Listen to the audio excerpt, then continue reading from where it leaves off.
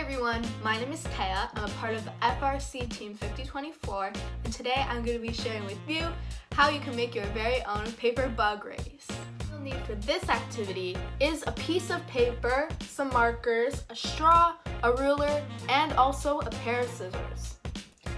You're gonna take your piece of paper and then you're gonna cut off the rough edges. Once you do that, you're gonna grab your ruler and a pencil and you're gonna make lines along your page and then you're gonna cut them out. Once you cut out all of your pages, you then have enough for how many strands you have. So because I have five pieces of paper, I now have five bugs I can make.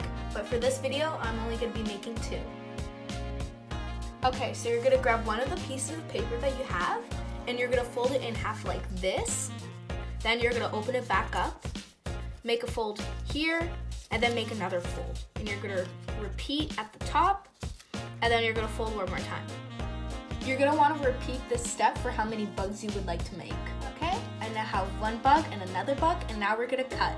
Okay, so you're gonna wanna cut off the corners of um, the rectangles that you have folded and then it's gonna become nice and round at the ends, like so.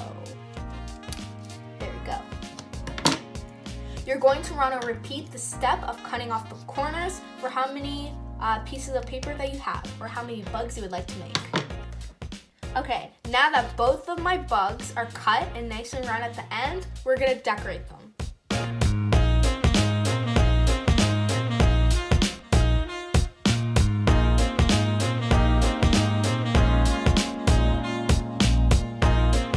Okay, so now for the racing part of your bug activity.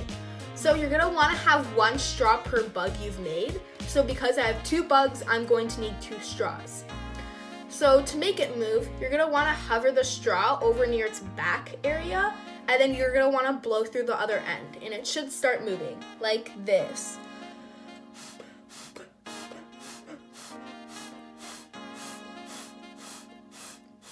And then it's moving, and it's really funny when they move. I think it's so funny and cute, and it's probably one of my favorite activities. I love to do this.